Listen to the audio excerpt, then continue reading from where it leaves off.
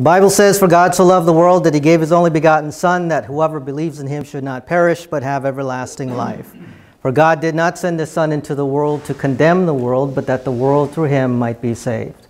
He who believes in him is not condemned. He who does not believe is condemned already, because he has not believed in the name of the only begotten Son of God. But as many as received him, to them he gave them the right to become children of God, to those who believe in his name.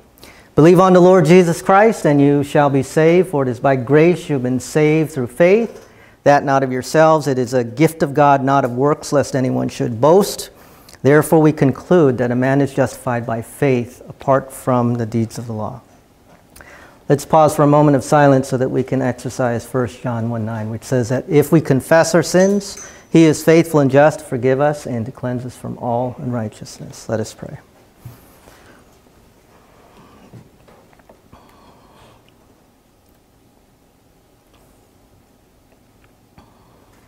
Our Father, we do thank you for this opportunity where we can assemble together as believers in Christ. We know that this is vital.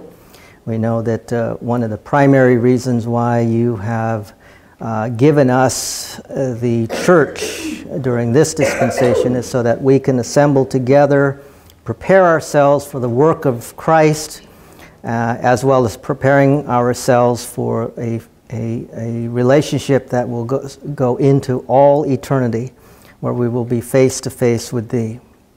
But during this time, during this side of eternity, we know that there are things that you want us to do. There are responsibility that has been passed on to each and every one of us. And as such, we will do our best to pick up the cross and advance the cross, uh, the, the cause of Christ. We know, Father, that uh, the world is uh, fragmenting, the world is falling apart because they have uh, rejected your Son, Jesus Christ. And Lord, the churches around the world should rally together and advance the gospel message so that there would be a change amidst the, the communities in the cities and the states and actually ultimately in our world. And we know that that's not going to come to full circle until you arrive here during the second coming or the, the millennium. And so we trust, Father, that as we look into your word and as we look at this uh, second increment on biblical stewardship, you would allow us to appreciate these things that we're going to see. Very basic, but at the same time, very true. And we ask and pray these things in Christ's name. Amen. All right, we are on increment number two at the request of several of you. You wanted to know how to steward your resources, and so that's what we're going to be doing for the next several weeks. And so this is our first time that we have compiled, I have compiled something to address the importance of giving as far as our resources. Last week I had pointed out that in Proverbs, Solomon, who was the wisest man around, um, he said that we are to honor the Lord. And you guys remember how to how we were told to honor the Lord? What were the two things that we were told to do? With what? What's the first part? Honor the Lord with your possessions. And honor the Lord with your first fruits. And the consequence of honoring the Lord with your possessions and first fruits was verse 10. What was verse 10? Very good. Very, very good. So barns and vats will be full and filled. And so that is a principle. And remember, we're not going to be able to have everything airtight, but we're looking at the underlying principles that are found in these verses or passages, and which um, will be extremely helpful for those that are looking for guidelines as far as what do we do with our resources, what do we do with what we have, and so on, because as I'd mentioned before, everything we own doesn't even belong to us, right? We are stewards, we are managers. God has given us the opportunity to manage what He owns. So it's like working in a, in a store. You're the manager. They call you, they come to you for major, they have questions, they, they need something done. They, they go to you as the boss, as the manager of the store. But there's an owner of the store that you report to. So people come to you, you have responsibilities to fulfill, And yet you in turn report to the master himself or the big boss or the CEO, and that's none other than God himself. What does God own? Everything. What is everything? Let's be clear on the everything. What does he own? The total universe. Total universe. What does he own in your life? Your life. Everything. Everything Everything you have. Everything you own. The people that you love. He owns them. In fact, did he pay for them? He did. What did he pay for them with? His son. So, like Abraham, who was asked to surrender his son to show God how much he loves him and whether or not God or Yahweh or Jehovah was number one to Abraham, God actually went through and put the knife through his son's heart, or he allowed that to happen. So Abraham was spared. He didn't have to surrender his son, but it was a vivid picture. It was a story, it was an imagery that we can, uh, when we go back in Scripture and look at this, and we can say, Would I have the ability to do that? Is my confidence in God that strong? And yet, when we go and we go, when we get to the New Testament, we see that God did not withhold his son. So, like Abraham, he gave of his son, but this time he, he didn't spare his son. He surrendered his son so that those who would believe in him would have everlasting life. So, we can see as we start piecing this together that when we talk about grace and when we talk about sacrifices and we talk about giving, from the perspective of God, He gave it all. And if we if we are managers of what belongs to him, then we should take that into consideration when we start coming together and saying, well, how much am I going to give to God? How much of God should I give to God? And this is where the component of faith kicks in. So, although money is a very sensitive subject, it must be addressed because it's very, it's very, very important. And as I've said before, it's actually a part of worship. It's everyone's um, responsibility to worship Him in the area of giving and offering. This is what we're seeing in Scripture. So here's the question What constitutes an offering that is honoring to God? We know that we've, we've gotten uh, in Proverbs, we, we know it was through our possessions and our first fruits. But what would constitute an offering that is actually honoring to God? And by the way, you want to know something? Today, you all are going to help fulfill prophecy. How's that? That's good. You're all, gonna, you're all going to contribute to the fulfillment of prophecy. When was the last time you heard that? Wait, wait till we get through our message. God's honored when we give it, we give what we decide in our hearts to give, not the quantity.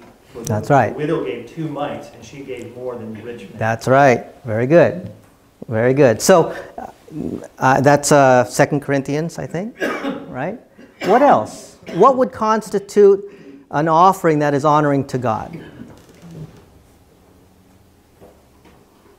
Well, let's go through uh, what I think will help us.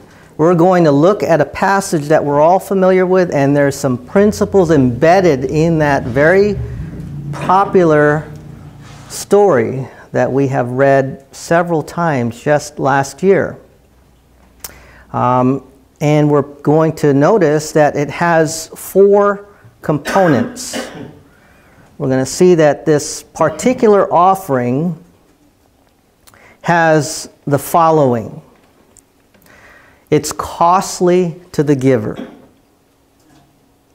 it's pleasurable to others, it's difficult to some, but in the end, regardless of 1, 2, and 3, it is pleasing to God. So those are the four things that we're going to hit in a very in seven verses, and we're going to be able to finish this this afternoon. That every offering or a special offering? I think this is pretty much every offering. Um, there's always going to be a cost when we give, whether it's a lot or a little. Pleasurable to others, that's going to be part of fulfilled prophecy today. Difficult to some, I think if we're really giving in a way that would be honoring, an offering that is honoring, it may be difficult for some people. In other words, why do you give to the church? Why would you support this ministry? Why would you help those people in, in missions? There's going to be people scratching their heads and saying, uh, you could use that money for something else. So you're going to have people who are going to say, I'm not going to give. And that's what we're going to see in this section, this passage. For, so for some, it's difficult. That's why I said some, not all. And then in the end, it should be pleasing to God. So let's look at John chapter 12. John chapter 12. We're going to zoom in, and again, we're not going to do anything detailed. These studies are just we're going to we're to look at the forest. We're not going to look at the trees. We're just going to look and see, make some observations. Here's the observations thus far. So then 6 days before the Passover, Jesus came to Bethany where Lazarus was who had been dead, whom he had raised from the dead. Verse 2. There they made him a supper, and Martha served, but Lazarus was one of those who sat at the table with him. Verse 3 Then Mary took a pound of very costly oil of spikenard, anointed the feet of Jesus, and wiped his feet with her hair. And the house was filled with the fragrance of the oil. But one of his disciples, Judas Iscariot, Simon's son, who would betray him, said, why was this fragrant oil not sold for 300 denarii and given to the poor? Then he said, Not that he cared for the poor, but because he was a thief and had the money box. And listen to this he used to take what was put in it. It's an offering to God. Can you imagine that? Who was doing this? Okay, just want to make sure. We're on the same page. Was Judas. And who, who put him on the team? Jesus. Was he even a believer? He wasn't clean, John 13. So he's not even a believer. And then our last verse. But Jesus said, Let her alone. She has kept this for the day of my burial. You guys are familiar with that story, right? Remember that? So let's zoom in and see what principles we can derive from this. The Bible records that Mary's brother Lazarus was at the dinner party. Notice, Lazarus. Um, where was he in the last chapter? Anybody remember? This is chapter 12. But where was Lazarus in the last chapter? Anybody remember? Hmm?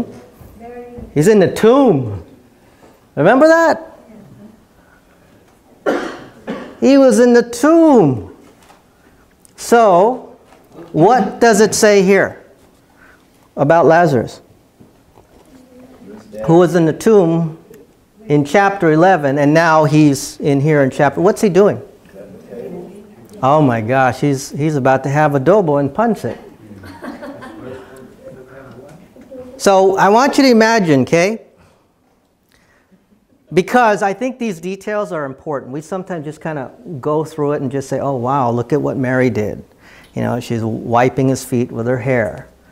But if we stop and just think for a moment, her brother who was dead just in chapter 11 is now breaking bread with them.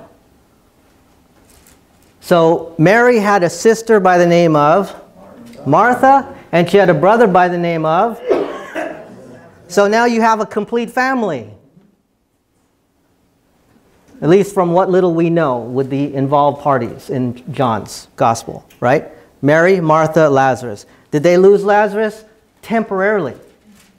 But by the grace of God, he allowed him to come back to life.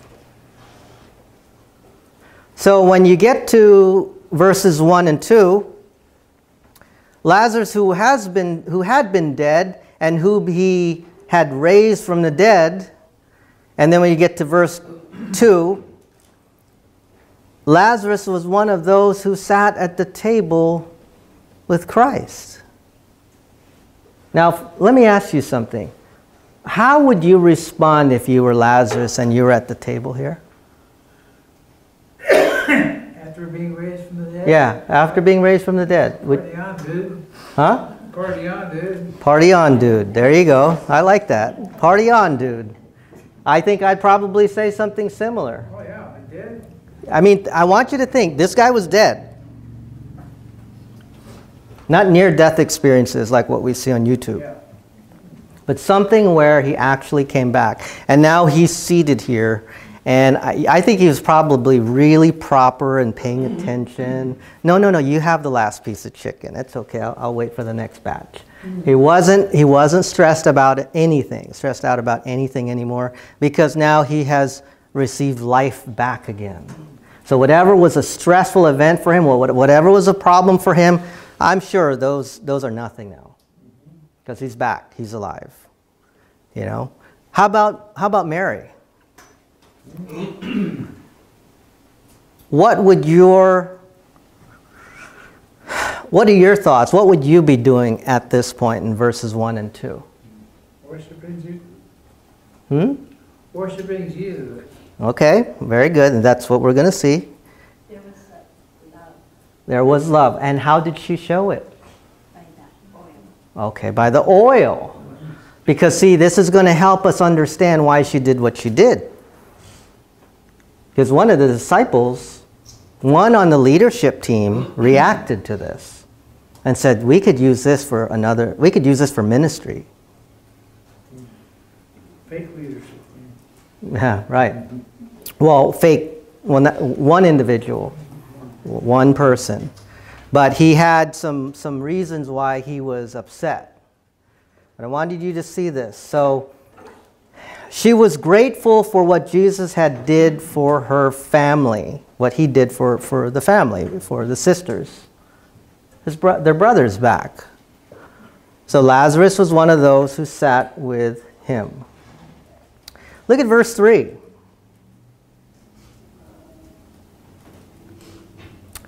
Then Mary took a pound of very costly oil of spikenard, anointed the feet of Jesus, and wiped his feet with their hair. And the house was affected with the fragrance of the oil. Have you ever smelt someone's cologne before and had that fragrance where they walk into the room and you're like, woof, it hits you? Well, it was filled. It says that the house was filled, not the room, the house. That means everybody was receiving that. Everyone was affected by it. That's the amount of oil that was spilling out of uh, this costly spikenard that was being used for Jesus. So here's the principle that I can see here. An offering that is honoring to God is something that is very costly. And what was it that was very costly? It was the oil of spikenard. Very, very costly. Something that was very expensive. Do we know how expensive it, it was? That's right. We're going to see that in a moment. 300 denarii. That doesn't. How many of you make 300 denarii? Anybody get paid in denarii? Just want to make sure. Okay. So the verse says that it was very costly. Um, we read that it was an offering worth 300 denarii, as Theda had pointed out. It- we'll see that in, in soon. And just to give you a, a picture of what that means, um, when we talk about the denarii that was uh, in the other verse, it's talking about uh, she, she, it cost 300 denarii. One denarii was a day's word, wage.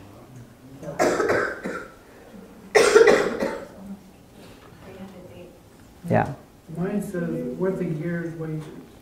that's right. That amounts to, it's 240, which is 300, which, but, but uh, one year's salary. So you take your salary and you pour it on Jesus. Are you willing to do that? Yeah. I mean, we're, we're, we're, we're trying to calculate it right now. Uh, Today's standards, we're taking our salary for one year and giving it to Jesus Christ in the form of oil. It's not easy to do, right? I don't think anybody here would be willing to surrender one year. Uh, hopefully you would. But the truth is, because of responsibilities and because there are other things involved, I'm just going to say that it's every person is a believer priest. You make that choice on your own. It's between you and God. But this woman did. She did. She took one year's worth of salary that was wrapped up in this very costly oil of spikenard, used it on Jesus. One year salary. Okay? This is what she did. Does she have every reason to do that? Yes. Why? Well, let me remind me why. Because her, because Jesus saved his brother. Okay, so Jesus saved her brother. What else? She wanted to do something to return. Okay, so she wanted to do something in return, and did she? Did, was it? Was she just fixing a plate, a meal? We saw that in Luke No. 10, I think. No, this one, she takes this costly oil and wipes his feet. And in fact, she doesn't even use, you know, what these massage therapists use. They have all these things that special stuff that they can put on their hands and, you know, massage it on your feet.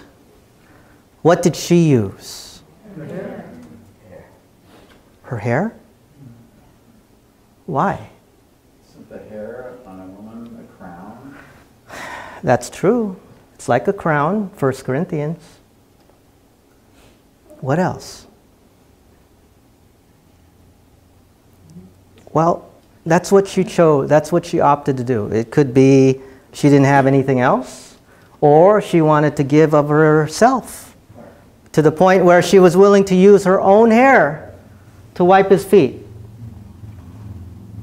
Now, I wouldn't be able to get away with that myself if I had to wipe his feet with my hair. Crazy. So she must have had long hair, beautiful hair, and at the time, you know, when, yeah. But the point being is that it didn't bother her. In fact, who was she doing this in front of? She didn't care who was around. It's an offering. Yeah. She didn't care who was around. Were there other people around there? Yeah, anyone that was at the party. Yeah, we, we know and from uh, the previous chapter there, there was a supper taking place. And then we hear a reaction from one of the disciples. It, it could be smelled throughout the house too. That's right. It could be smelled throughout the house. So it's like if someone, I mean, it would be equivalent to someone walking in here and everyone being affected by that smell. Because it says the whole house was filled. So the point is, it was affecting people. Okay? So it was very costly. It wasn't a secret gift. It wasn't a secret gift. In fact, it caused, uh, someone was upset. Why are you giving all this? We could feed the poor. That sounds pious. Hey, let's, let's use the money for ministry. Why are you wasting it on his feet? Let's use it for ministry. We're going to see in a moment that that's not even true. So she brought this one year's worth of salary and poured it upon the feet of Christ. Now, Mary is only mentioned, as I, as I recall, um, only really three times in the Gospels. Um, I need some help. Can someone look at Luke 10 38 to 42? And someone look at John 11 32? And I want you to see what she's doing. And here's uh, the third place we see her is in Ma- uh, John 12 3. Who has Luke 10 38 to 42? Luke 10, 38 to 42. Mar- uh, Karen? As Jesus and his disciples were on their way, he came to a village where a woman named Martha opened her home to him. She had a sister called Mary who sat at the Lord's feet listening to what he said. But Martha was distracted by all the preparations that had, that had to be made. She came to him and asked, Lord, don't you care that my sister has left me to do the work by myself? Tell her, Martha, Martha, the Lord answered, you are worried and upset about many things, but only one thing is needed. Mary has chosen what is better, and it will be taken away from her. Very It will good. not be taken away from her. So here's, here's one instance, one out of the three. What was she doing? What was Mary doing?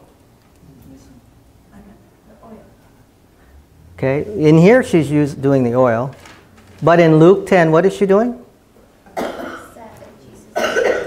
Ah, very good. Where?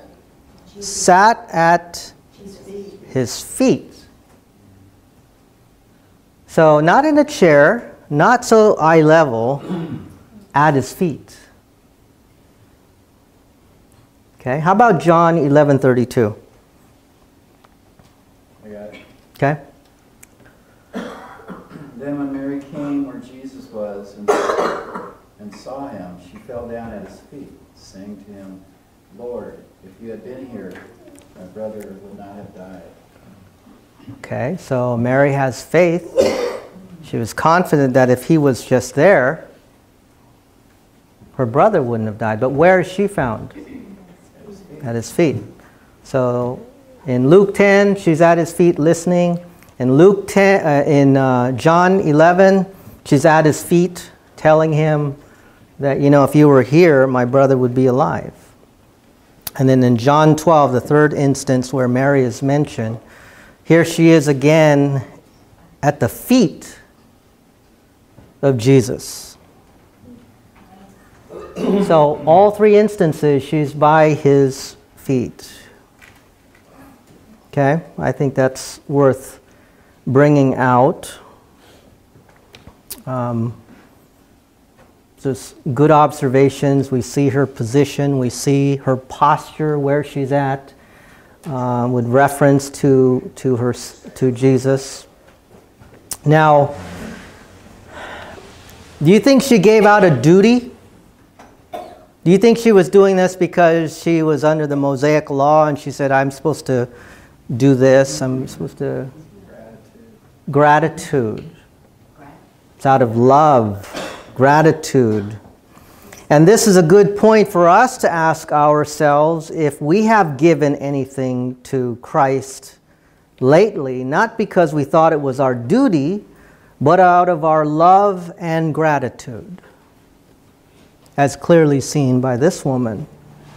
Think about this, very important. Whenever love exists, there is a desire to sacrifice something for the object of our devotion. Agree or disagree?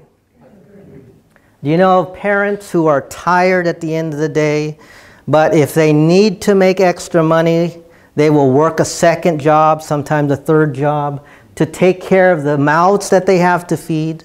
Do you know people like that? Why do they do that? Because they have a love for their family. And it could be clearly seen in the actions of the one who's doing the love, like Mary.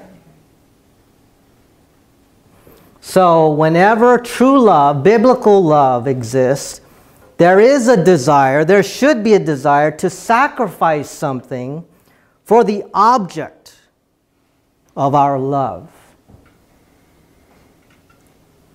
Who's the object of her love here?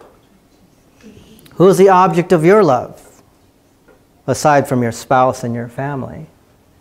First and foremost, it should be God, even before your family. It should be. Because He gave you your family. And He takes care of your family. Even when you can't take care of your family, He will take care of your family. So therefore, you put God first, even before your husband, your wife, and your kids. Because He doesn't share first place with anybody. So, Whenever we exercise this unconditional kind of love towards God, there should be a sacrifice. Otherwise, there's not much behind it. Let's look, let's look at um, something else that I think is worth pointing out. I had mentioned this uh, earlier. An offering that is honoring to God can many times have a pleasurable effect on those present. So, you see that? The house was filled with the fragrance of the oil. And uh, everybody in the house, I'm sure, if the house was full, then they were affected by it as well. So it wasn't just in the room in which they were seated, it had an effect on everybody that was present. Now, there's a very real sense that it was not simply a blessing to those in Bethany that evening, but also for those of us today. So, remember, I said I was going to, um, we're all going to take part in fulfilling prophecy? Who wants to read Matthew 26 13?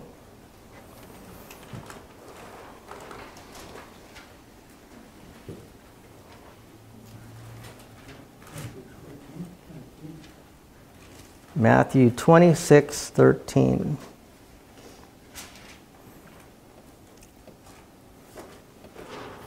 The very first book of the New Testament, just in case you are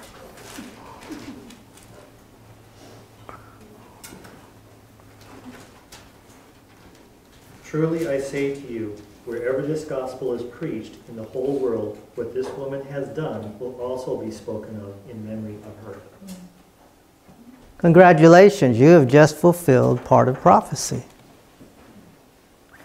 Jesus said, wherever this gospel is preached in the whole world, what this woman has done will also be told as a memorial to her. The offering she gave so long ago continues to be a challenge and blessing to us today. The fact that you are hearing this and reading it on the PowerPoint is the fulfillment of that prophecy in Bethany so many centuries ago. Fulfilled prophecy. The Word of God is alive and powerful. What this woman did was recorded for our edification, for our benefit.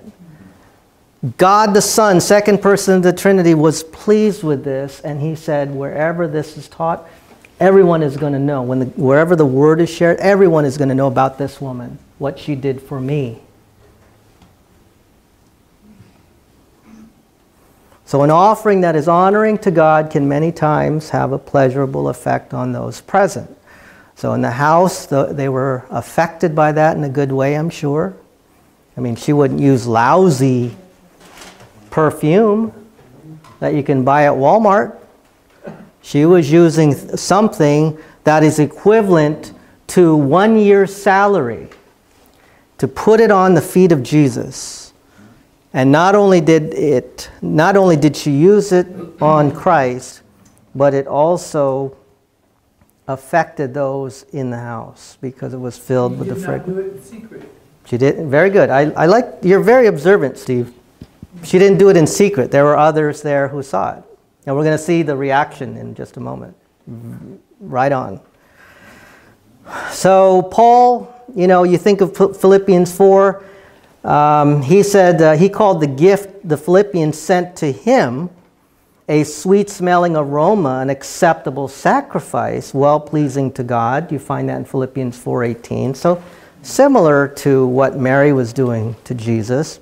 An offering that is honoring to God is not simply precious to us, but becomes enjoyable or pleasurable to others. Let's look at verse 4. Uh, now, here in John. But one of his disciples, Judas Iscariot, Simon's son, who would betray him, said, Why was this fragrant oil not sold for 300 denarii and given to the poor? We need to exercise our ministry and help the poor. Why did you dump it on his feet? That sounds pious, huh?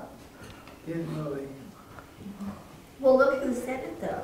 That's right. Look at who said it. Mean, what would you expect him to say? That's right. Who, who, uh, whose name is highlighted in green?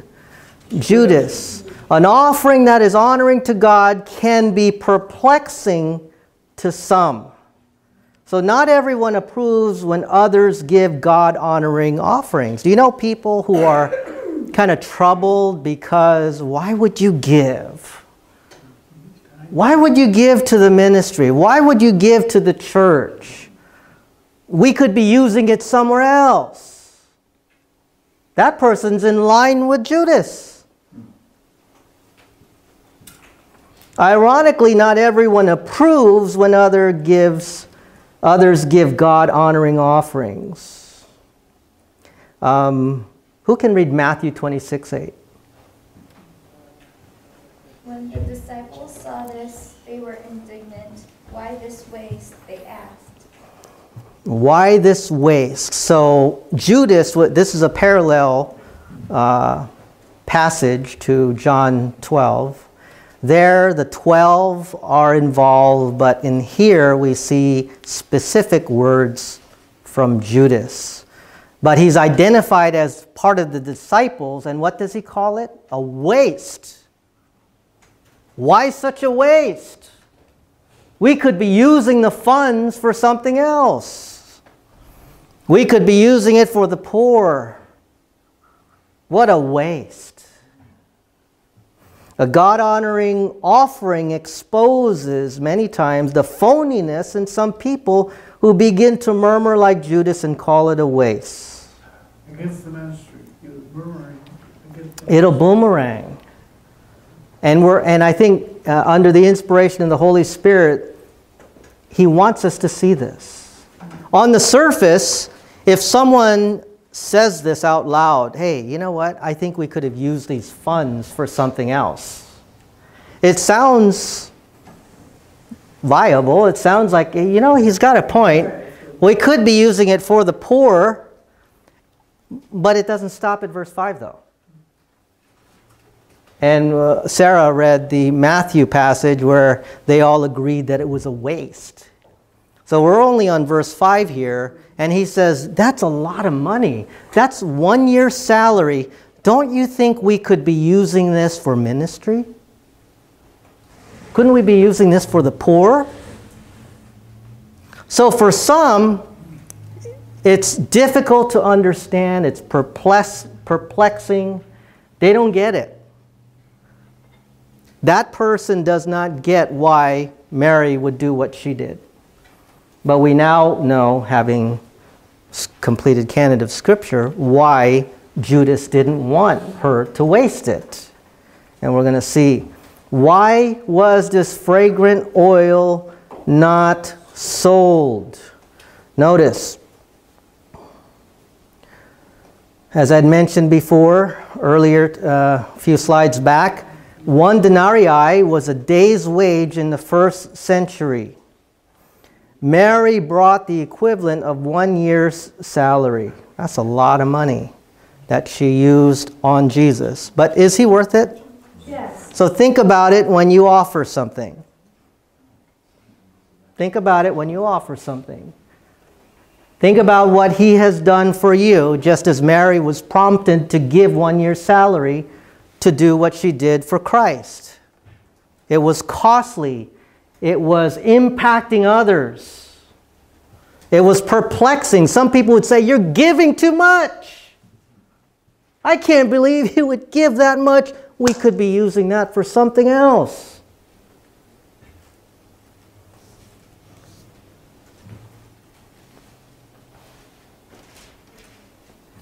Three hundred denarii, we could have given that to the poor. That sounds pious. I'm sure there are some today who would say that it should have been sold and given to the poor. That type of criticism sounds so spiritual, doesn't it? It does. I mean, and it's recorded. It was not, coming from none other than one of his disciples. Judas subtly used the excuse of the poor to bring more money into his hands, though. This was the real issue. The Bible says, This he said, not that he cared for the poor, but because he was a thief and had the money box, and he used to take what was put in it. Where am I getting that from? Is that the first time that, The next verse. is that the first time that's indicated in scripture that Judas the thief? That he took the money? Is that the first time in scripture that you know? As, as far as I'm aware of, in, in here, in verse 6. In verse 6. But, um, yeah. So he took the money out of Christ's treasury. So he was rolling with the, tw- the 11 disciples, he was a part of the 12. He was managing the money, but he was dipping his hands in it and taking things that belong to Christ. Some people have a problem giving sacrificially and God honoring offerings because they don't want to let go of their own money. So, like Judas, they use excuses not to give as a way of putting more money into their own pockets.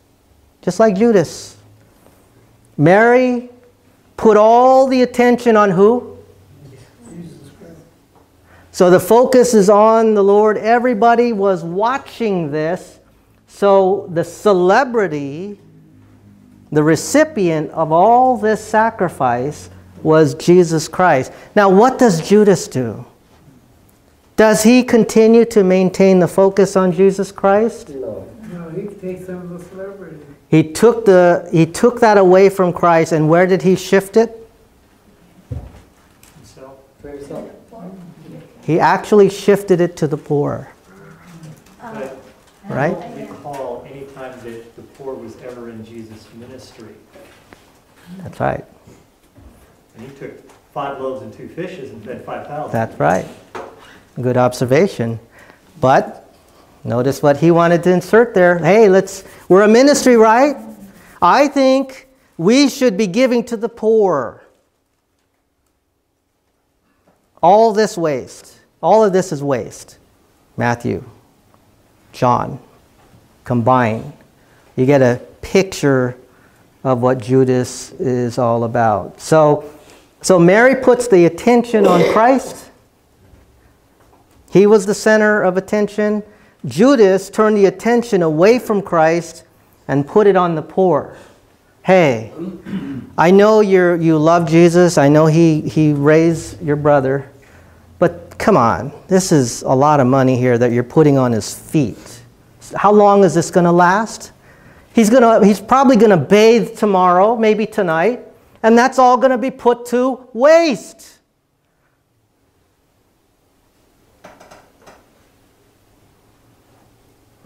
So he takes the attention away from Jesus and says, instead, why don't we benefit the poor? Let's shift the resources here from this alabaster and sell it, and let's use that money for the needy. That's coming from his disciple. That's coming from one of his twelve. See? God honoring offerings are perplexing and difficult to those who love money more than Jesus himself. And it's interesting, if you think about this, it's interesting that Jesus made such an issue out of Mary's gift and then turn around the very next week and bargain with the chief priest to sell Christ for how many pieces of silver? 30. 30. One week later. You're wasting your money. And by the way, hey, give me 30 pieces of silver. Um, I'll help you out. We'll, I'll help you get Jesus. Well, keep it for the building fund. Keep it for the building fund. Don't give it to missionaries. That's right. So the attention was moved away from Jesus Christ. A God honoring offering is precious to those who give, but perplexing and many times difficult to those who gripe. Last verse. Oh, one more verse. Sorry.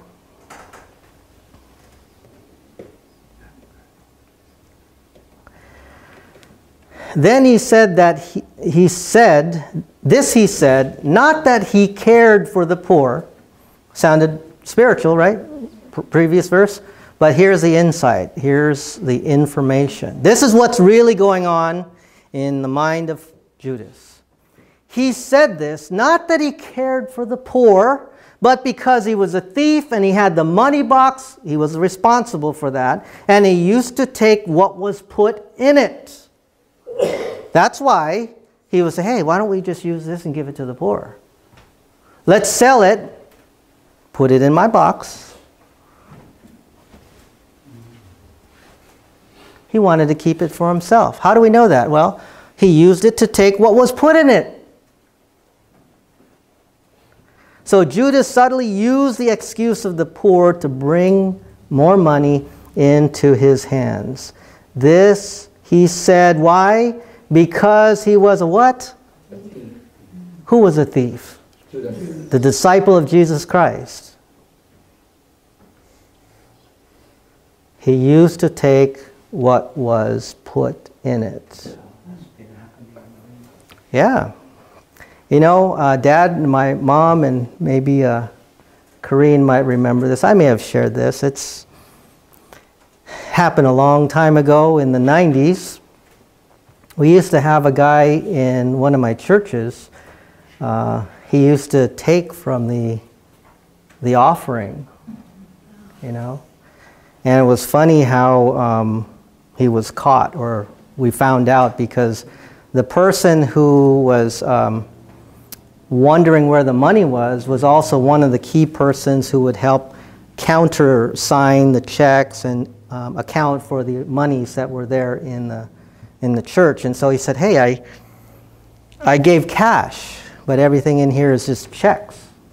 Did we collect everything? And I said, I don't know. Ask so-and-so and so-and-so, because I, I don't do anything with the money. And turns out that one of the guys that was doing one of these things, you know, we were, at the time when I was part of a, a denomination, we used to pass a basket around. This is in the uh, mid 1990s. So I was a part of a denomination. And so we'd go up and down the aisle, you know, and pass a basket, and then we'd go down this aisle, and people would put. But lo and behold, all this time we had a Judas in our ministry. I didn't even know that. I said, I, I don't know, you know, I, I don't know what happened. So, you know, we, our uh, admin at the time, he was able to kind of um, piece it together. He knew who was um, helping with the uh, collection, and so he was caught, and we had to deal with that in grace, but he was caught. So uh, our Judas was caught. And uh, he was, uh, I guess he was a thief, and he used to take what was put in it, but now he doesn't. So, but it happens, and I think Glenn was right. It happens today. Uh, we have to be very, very careful when it comes to ministry. Everything related to ministry has to be of utmost. We've got to have high integrity. There isn't second best. It has to be the best. We have to make sure that we have uh, several people involved, especially when it comes to uh, the accounting and our resources, and we have that in place. We have great people in place. And, and so far, no problems. We've been doing quite well. And even the previous uh, financiers and those assisting was, uh, did a fantastic job with no, no challenges of any kind. So I'm, I'm very, very thankful for those who have pitched in and assisted for many, many years. Um, so it's difficult for some. He was a thief. We know now that he used this as an excuse. And so now that takes us to the last verse, which is verse 7. An offering that is honoring to God always pleases God. And, you know, even Jesus defended her. But when you look at Matthew 26 10, um, you read, Why do you trouble the woman? For she has done a good work for me. She has done a good work for me.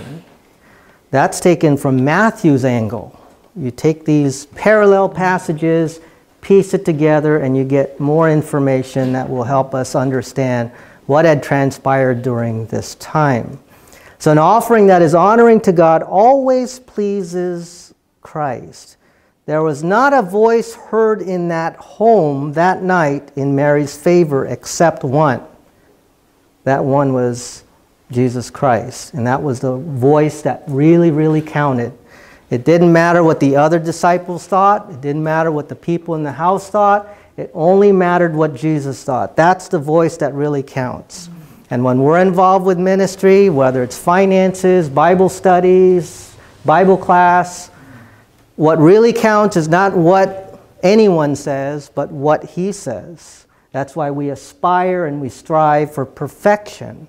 We need to be ready, we need to be prepared we don't want to prepare Saturday night special and say, well, you know, I was busy. You got to give it your best as we're clearly seeing. We give it our best. We give something that's sacrificial and costly, whether it's our time, our sleep, our resources, because of the person that we are in love with. So he spoke to the others again in Matthew 26:10, "Why do you trouble this woman? The, the, for she has done a good work for me." So when we give something that is precious to us, it is always, always, always pleasing to Christ.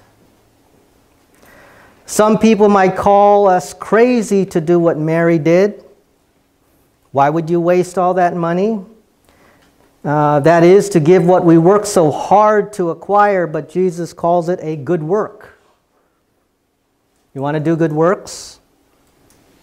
Well, this is what Jesus calls as good work. He addresses this and he says, This is a good work. Matthew 26. He calls it a good work, and on top of that, it's pleasing to him. Are we not aiming to please Christ? Yes. Well, now you have information. Mm-hmm. Additional information contained in these seven verses. John 12. Our Lord emphasized the fact that Mary's gift was for me. Morris, can you read. Matthew 26 10? One short verse. Matthew 26 10. But Jesus, aware of this, said to them, Why do you bother the woman? For she has done a good deed to me. To me. She's defend, he's defending her. He's talking to his disciples. He says, Leave her alone, guys. Wait a minute, I thought you were on our side. Aren't you our rabbi? Aren't you our mentor? Yes, you are. I am, but leave her alone. She's doing a good work for me. You want to learn something? It's for me. In fact, this will be recorded, and everybody that studies the Word of God will know about this woman. How about that? Why, why did they say that? For my burial. Because apparently he knew that she was planning to keep it for his burial. She was going to keep it for his burial. But for whatever reason, we don't have anything in Matthew's passage or here. She decides to use it on his feet. And besides, it doesn't say that she used it all. Right? So if it's, think about it, if it's one year's worth, it might be a big jar. So she was using it as a form of worship, I, I would, I would say. Does Mary know that he's going to die? Yeah, she knows. Because in John 11, the pri- previous chapter, she, he tells this to Martha, and I'm sure they, they probably sat down and chatted and, I, I, I believe that Jesus Christ is God and yes, he is. he's, he's psychic and it's, it's got to be short. Um, I believe that he knows that the, uh, the intention was real and the effort was extraordinary. Right, So couldn't lie to Jesus though. right. So that's why he appreciates it. Hmm. Okay, very good. Thank you. So um, well, let's look at some points of observations. We're done now. Those were the seven verses. Here's some points of observations that I want you to walk away with. Real simple. Um, an honoring, an offering that is honoring to God is costly. We see this when it says Mary took a pound of very costly oil. It's, these are things that we've just looked at this, together. So, an offering that is honoring to God is costly. And the word costly is actually found in that verse. An offering that is honoring to God is pleasurable to others. Why do we know this? Well, the scripture says the house was filled with the fragrance of the oil. And not only that, it was written and recorded, and everybody would know. So we, we are pleasured by it. We are thankful by it. We enjoy and appreciate what she did to our Lord Jesus Christ. So it affects us today as we study it. And we're probably challenged and thinking to our, in our own minds, wow, this woman actually gave quite a bit to our Lord. Um, hmm, I should reconsider what I should be giving. If this woman loved the Lord this much because he raised her brother, I mean, if that was a form of love being demonstrated and display amidst everybody, then maybe we should do the same thing as well. Oh, but my brother didn't die, right? But hers did, and it was recorded. And just because he's not your brother doesn't mean it shouldn't affect you in a good way.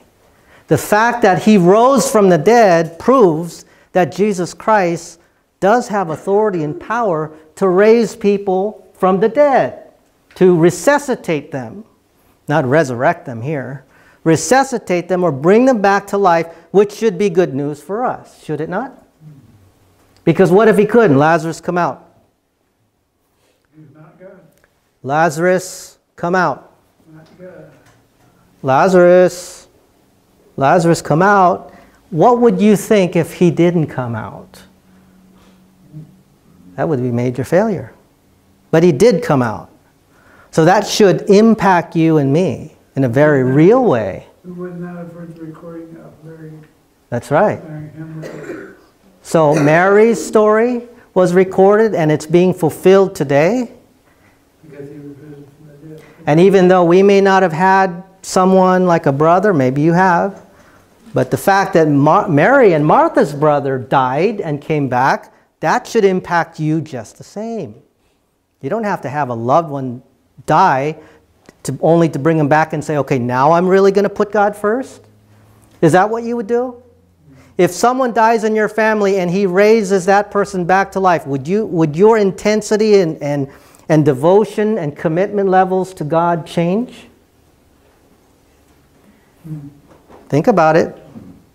If you. That's right. It should. Right? It should to a certain extent. We see the reaction of Mary. But because it was recorded for our edification, it should move us as well.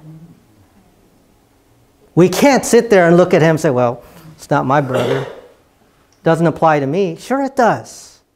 These are the kernel of truths that as we gather together and assemble together, whether through Bible class, Sunday class, whatever, these are the things that should, we should lodge and store up in our souls so that when you are by yourself and you're going through hardship, you can say, Well, did not Lazarus rise from the dead? Was that a fairy tale? Is that just something that Hollywood made up? No. That's for our edification. So that, that, that will really move us to do what God has called us to do. These are the kernel of truth that should drive us to go out there and advance the cause of Christ. These are the truth that should allow us to spend more time in His Word, transforming ourselves through the renewing of the mind.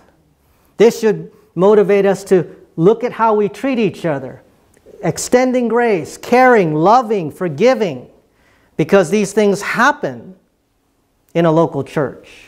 Some will steal, but we extend grace.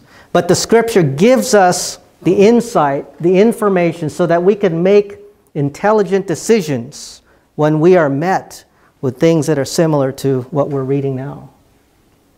Well, a good point might be that we're given the opportunity to give an offering to this church here, Right, thinking that maybe something would go on the missionary trail. yeah, That other guy comes along, steals that part of the offering, yeah. and Yeah. so then you have to give grace to everybody involved there. That's right. So, uh, last point, two more points. So, again, offering that is honoring to God is costly. Again, we're looking, using this as a guideline. Mary gave costly oil. An offering that is honoring to God is pleasurable to others, it impacts others. An offering that is uh, honoring to God is difficult to some. Some can't believe it. Why would you do such a thing? Why was this fragrant oil not sold? So pious, sounds spiritual. And lastly, an offering that is honoring to God is pleasing to Christ. Why do you trouble the woman? For she has done a good work for me. And if you do a good work for Christ, it doesn't matter what other people think, because you are a servant to Christ, not to anybody else. Father, we thank you for this time where we were able to gather together once again so that we can examine key truths from your word. And we're so thankful, Father, that you have recorded these truths for us so that we can learn from them. We know that Romans 12, 2 says, Don't be like the world, but be transformed by the renewing of our minds. And so, Father, as we assemble together each and every Sunday or during Bible class, during the week, we know that the intake of your word influences us and transforms us as we make application to the doctrine that we study. So we're thankful for this time, and we ask and pray these things in Christ's name. Amen. Amen.